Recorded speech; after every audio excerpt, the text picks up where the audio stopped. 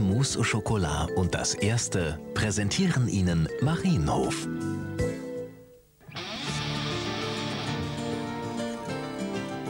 Es wird viel passieren. Andrea, ich brauche dich. Alleine stehe ich das nicht durch.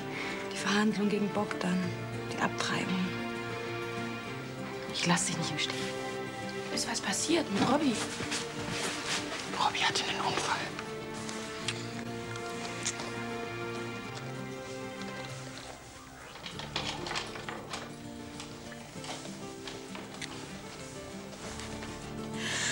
Amsterdam, da fährst du einfach hin, lässt dir dieses Teil rausschneiden.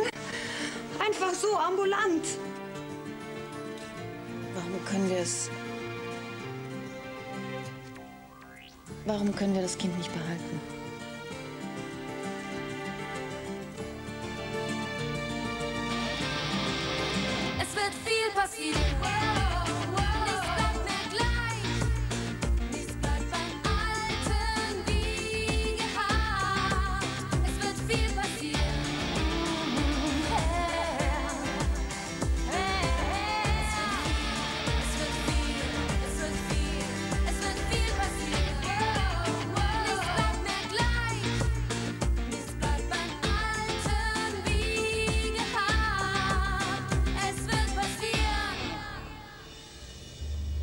Warum wir es nicht behalten können? Weil nicht wir, sondern ich dieses Stück Dreck in mir drin hab. Sag mal, weißt du eigentlich, was du da redest? Billy, bitte. Nur weil du dir ein Kind wünschst, soll ich vergessen, dass ich vergewaltigt wurde? Sag mal, glaubst du das auch? Glaubst du, wie die Bullen, dass ich mich diesem Dreckschwein Bock dann freiwillig hingegeben habe? Nein, um Gottes Willen, nein. Mann, jetzt kapiere ich das auch. Ja, natürlich. Deshalb warst du auch zuerst gegen die Anzeige, weil du schon die ganze Zeit dieses Kind haben möchtest. An. Und deswegen hast du auch die Babysachen aus dem Keller geholt. Nein, Billy, Billy, hör auf Oh damit. mein Gott! Dieses Verständnis, du hast es mir die ganze Zeit vorgeheuchelt. Hör mir bitte zu. Nee, sorry. Aber das muss ich jetzt erstmal verdauen. Dass du mir so in den Rücken fällst. Ausgerechnet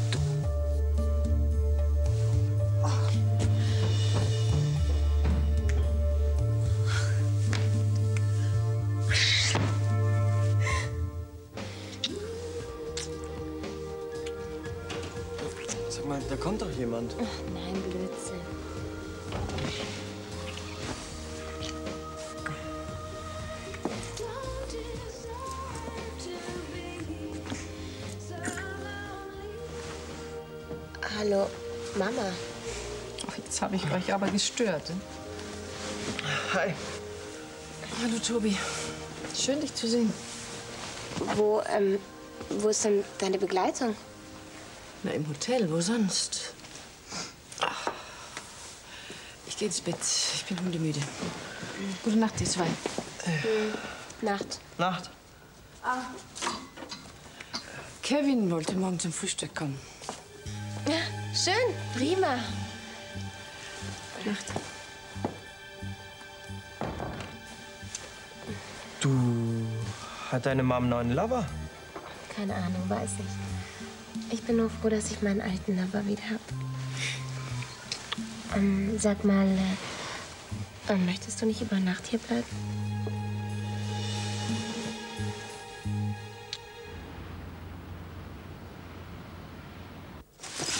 Seid mir vielleicht ein paar Helden. Erst du mit deinem Kreuzbandriss vor zwei Monaten und jetzt Robby mit seinem Kind. Tja, wir sind eben noch richtige Kerle. Wir lieben die Herausforderung und wir suchen die Gefahr, Baby. Für die Zugfahrt. Oh, das ist ja lieb. Weiß ich, würde ich gerne selber fahren, aber Ist schon okay. es war schwierig genug, Toppers überhaupt dazu zu überreden, dass wir heute früher anfangen. Wenn der wüsste, dass es nur wegen heute Nachmittag, wegen der Schwarzarbeit von der Sieger ist, dann... Oh, mein Taxi. Aber Ich wir muss- telefonieren jeden Tag, ja? Ja, machen wir. Gut. Und äh, grüß Robby und sag ihm, dass er einen Arschloch kriegt, wenn er wieder zu Hause ist, weil er wie ein Blöder den Berg runterfährt, ja? Okay, mach ich. Mm, pass auf dich auf und sei brav. Ja.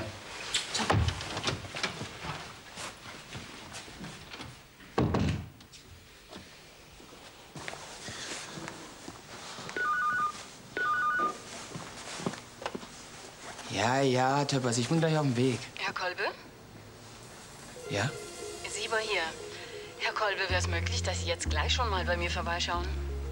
Äh, nee, nee, ich hab doch gesagt, ich komme heute Abend. Irgendwas mit der Heizung stimmt nicht. Es wird überhaupt nicht warm. Aha, das ist natürlich... Aber ich muss...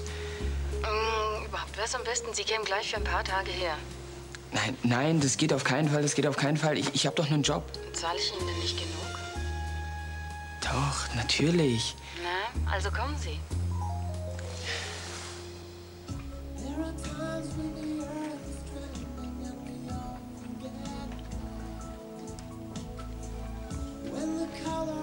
Es geht ja nichts über ein fröhliches Gespräch am Morgen. Billy hat nicht gut geschlafen. Ich auch nicht. Okay, okay. Ich verdrück mich.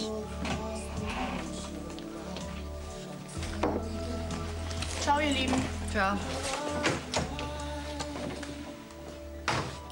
Darf ich noch mal kurz was sagen?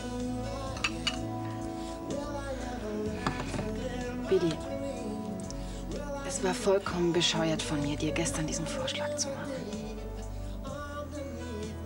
Es tut mir leid. Warum hast du es dann gesagt? Ich weiß es nicht. War. Damals, als ich schwanger war. Von Fechner.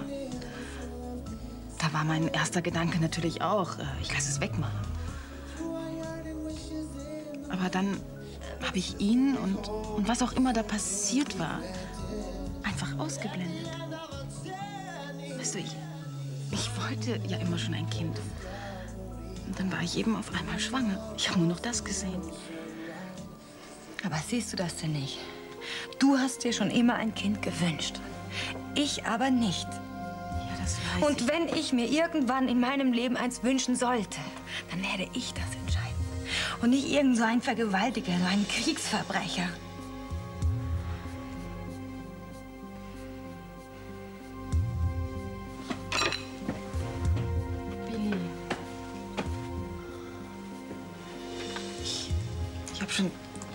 Zweimal ein Kind verloren. Ich habe Angst, dass ich nie mehr eins kriegen kann. Ich bin aber nicht du. Aber ich habe mich da eben so reingesteigert. Ich habe das Ganze auf mich projiziert, als ob ich schwanger wäre. Billy, es ist mir doch klar, dass du es ganz für dich alleine entscheiden musst. Und egal, wie du dich entscheidest. Ich liebe dich. Und ich bin für dich da.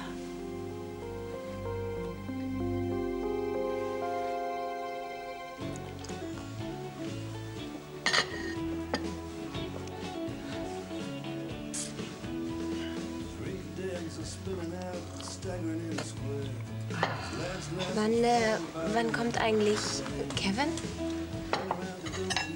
Vorhin angerufen, dass es vielleicht ein bisschen später wird, weil er vorher noch einen Termin hat. Ach, das muss er sein.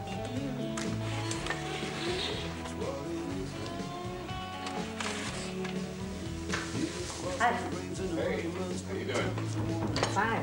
How are you?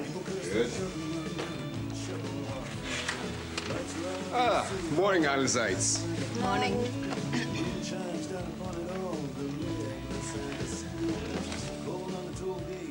Sorry für das zu spät kommen. Mama, wir müssen jetzt los. Ja, äh, Frederik und ich, wir müssen leider los. Aber du kannst ja gerne noch mit Lee und Tobi zusammen frühstücken. Wobei wir eigentlich noch mal zurück ins Bett wollen. Ich hab schon verstanden. Hey, wartet noch. Ich komme auch gleich mit mit euch. Okay. Okay. Also dann, bis später, ihr zwei. Bis hoffentlich bald. Ciao. Einen schönen Tag noch, Tägtischchen. Ja, schönen Tag noch.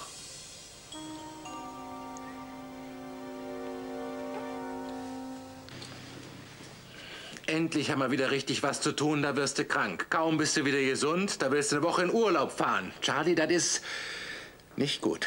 Das ist ganz und gar nicht gut. Chef, ich will ja nicht verreisen. Gerade wenn ich dich am nötigsten brauche, da lässt du mich im Stich. Weißt du, Robby hat einen Unfall gehabt. Ach du lieber Gott. Ja, und Doro ist schon zu ihm hingefahren, weißt du? Aber ich, ich muss jetzt ein paar Sachen organisieren. Ich muss hin und her fahren und ich muss Klamotten holen und so, weißt du? Was ist denn passiert? Äh, Ich glaube, er ist beim Snowboardfahren irgendwie hingeflogen und dann hat er jetzt ein dickes Knie. So eine, so eine Bänderdehnung und ein Bluterguss.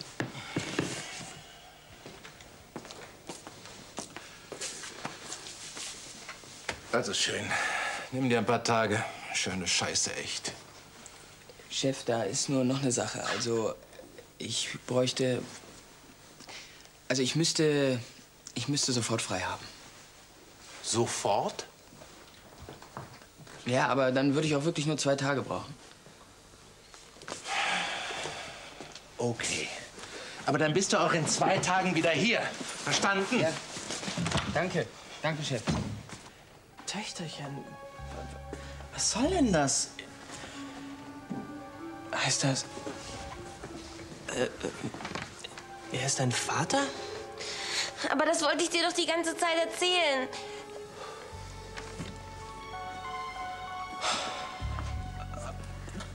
Aber gestern hast du doch noch gesagt, Casey wäre ein Kumpel, weil ich dachte, du hättest was mit ihm. Wieso hast du denn nicht gesagt, dass, dass er dein Vater ist? Weil. Weil. Ich hätte wohl kaum angenommen, dass du dich in deinen eigenen Vater verknallt hast. Aber das habe ich doch am Anfang gar nicht gewusst.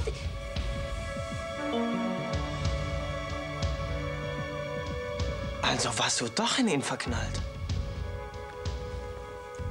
Und dann hast du erfahren, dass er dein Vater ist. Und damit kommst du jetzt nicht klar. Tobi, ich.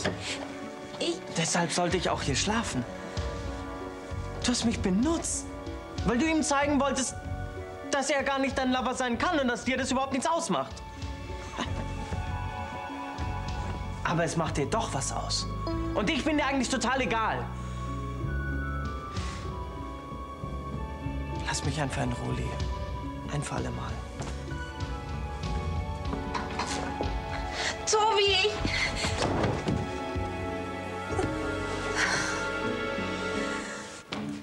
Ja, so Mist! Auch das noch. Alles in Ordnung, Herr Kolbe? Sagen Sie, Frau Sieber, haben Sie vielleicht äh, Nähzeug oder, oder eine Sicherheitsnadel? Ja, schau mal nach. Nehmen Sie sich doch einen Tee.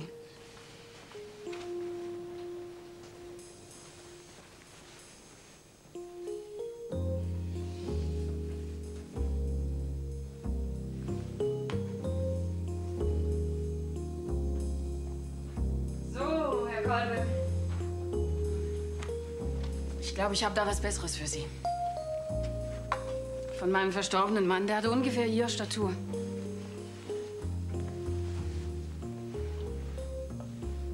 Also, das ist sehr nett von Ihnen, aber damit kann ich nicht arbeiten. Ja, wieso nicht?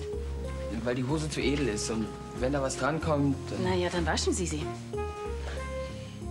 Also, Sie nehmen die Hose auf jeden Fall als Schadenersatz. Und ich flicke jetzt Ihre Arbeitshose. Also, Sie brauchen doch nicht meine Arbeitshose flicken. Da habe ich kein Problem mit. Da, danke.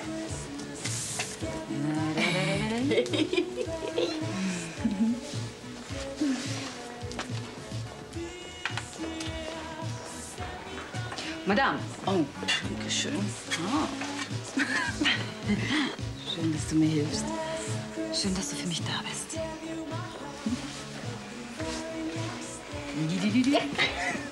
Ich bin lieb. Sind doch Kunden da. Ach, die sind doch beschäftigt.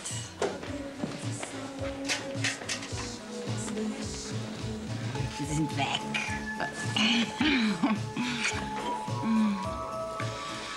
Oh, weißt du was? Hm. Hm. Wir machen den Laden dicht. Uns einen schönen Nachmittag. Oh ja. Wir gehen auf den Weihnachtsmarkt. Schön bummeln. Oh, essen Bratäpfel, gebrannte Mandeln und alles, was es da gibt. Mm, Und dann gehen wir noch Schlittschuhlaufen. Mhm. Bist du fit genug. Hör mal, ich kann Bäume ausreißen. Pass mal auf. Na gut, Weihnachtsbäumchen. Das ist ja perfekt. Ich wusste gar nicht, dass Sie... Dass ich nähen kann.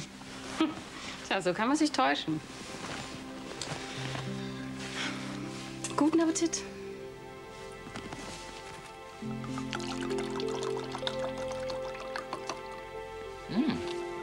Sagen Sie bloß, das haben Sie auch selber gemacht. Selbst gekauft. Ich bin eher Kölschtrinker eigentlich. Ich konnte früher auch nichts mit Wein anfangen. Aber mein Mann war ein großer Weinkenner und äh, dann bin ich dann auch irgendwann auf den Geschmack gekommen. Schließen Sie mal die Augen und kosten Sie. Mm, Ich sehe weite Lavendelhügel, ich habe Wind im Haar und ähm, nee, mal ernsthaft. Mal ernsthaft. ähm, also ich finde, schmeckt äh, so wie Südenurlaub und Sonne. Zwar nicht aus dem Süden, sondern ein Dornfelder aus der Pfalz, aber ähm, so ein gutes Glas Wein ist wie ein Kurzurlaub. Hm? Ja, Wie wär's mit ein bisschen Musik? klar, warum nicht?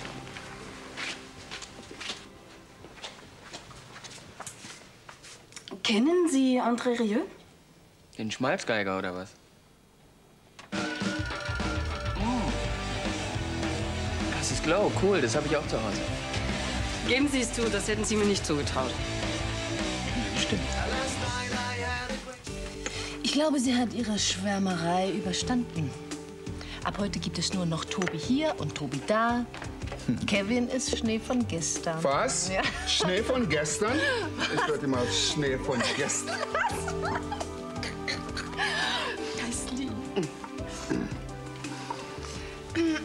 Na, alles klar? Ja, deine Mutter ist ein bisschen fresh, aber sonst geht's. Pass auf, du. Ich war hier eigentlich mit Frederik verabredet. Ah. Friedrich kommt auch? Das wäre wunderbar, dann können wir ja alle zusammen. Ja, das wäre doch schön. Wir wollten nämlich ins Kino. Wie wäre es, wenn du und Frederik, naja, wenn ihr mitkommt? Wild Christmas, den habe ich schon in den Staaten gesehen. Absolute geniale Action-Thriller. Kevin meinte, er könnte Karten für die Premiere besorgen. Ich stehe nicht auf Action. Hey, es wäre doch nett, wenn wir zusammen. Ich habe keinen Bock. Tobias kann auch gerne mitkommen. Eine Karte mehr oder weniger ist überhaupt kein Problem. Ich habe aber keinen Bock auf Happy Family.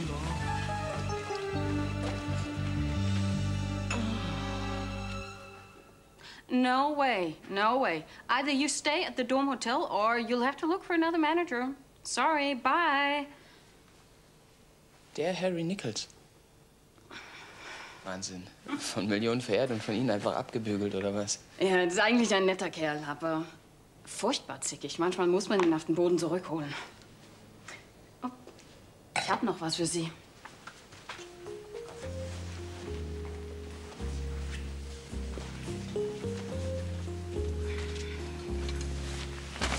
Hier, guck mal, die Sachen passen Ihnen und ähm, ich brauche sie nicht mehr. Also keine falsche Scham. Nehmen Sie es. Im Ernst? Ja. Macht Sie mir die Freude, Sie können ihn ja heute Abend anziehen und Ihre Freundin darin ausführen. Doro ist überhaupt gar nicht da, die ist bei Robbie. Nein, ist ja auch egal. Auf jeden Fall, ich kann diesen Anzug nicht annehmen. Sie haben mir schon die Hose gegeben, Frau Sieber.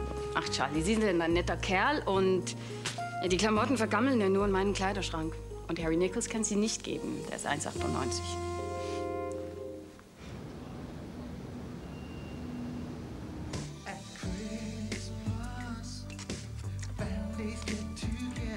Ich liebe Weihnachten. Mega kitschig. Allem drum und dran.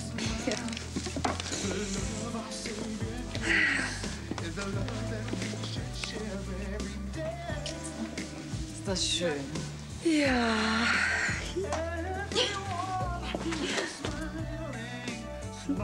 Ist der nicht süß? ja. Sag mal, warst du auch schön artig? Ja. Das.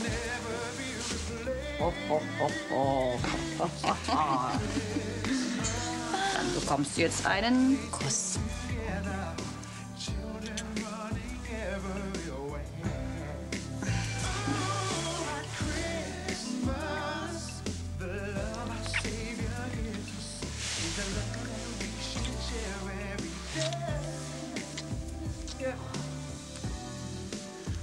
Du, wie lange wir nicht mehr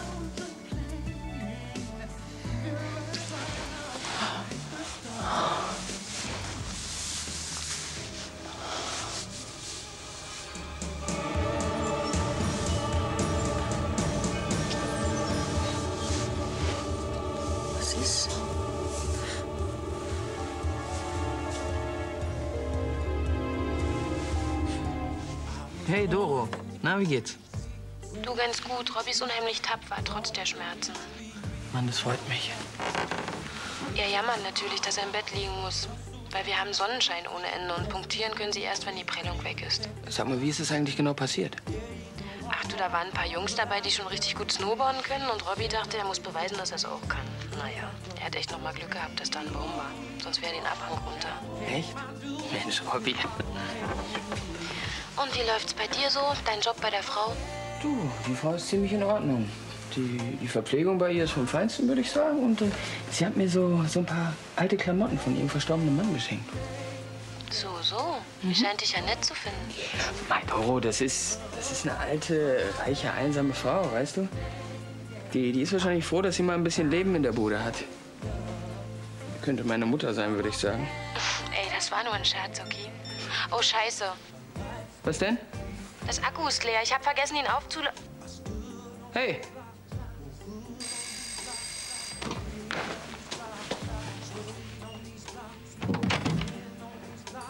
Hallo. hallo, Frau Sieber. Stürzen wir uns in das Rauschen der Zeit. In Sir Nach seiner Verletzung und nach seinem wieder guten Spiel gegen die Engländer.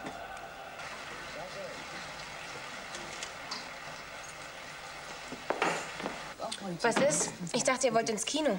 Nach deinem Auftritt vorhin ist uns die Lust vergangen. Moment, Fräulein, hier geblieben. So.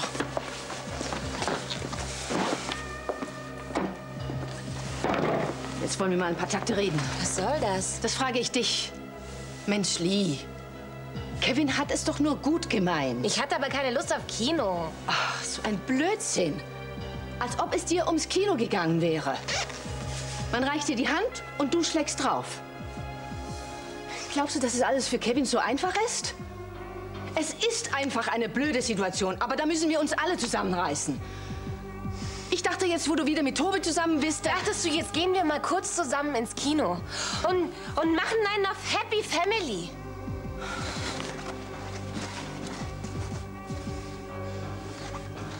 So einfach hättest du es wohl gern. Aber das kannst du dir abschminken. Es geht nicht alles immer so, wie du willst. Du, du musst dich entscheiden. Casey oder ich?